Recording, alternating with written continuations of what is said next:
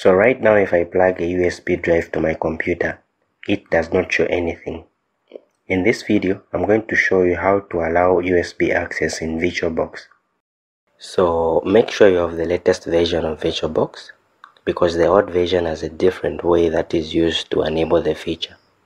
Now, in order to allow access, you need to shut down the active virtual machine and open the VirtualBox Manager. Select the machine for which you want to enable the USB access. Click the settings icon for that virtual machine. In the settings window, navigate to the USB tab. Check the Enable USB Controller checkbox and make sure to check USB 2.0 or 3.0 controller. Now here you need to be careful. After you have checked the USB controller, make sure that you plug in the USB you want to add.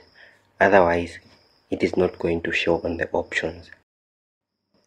So after you have plugged in your USB drive, uh, click the add filter from device button and select the USB device that you want to use with the virtual machine.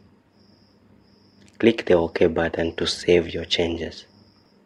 After following these steps, you should be able to use the selected USB device with the virtual machine.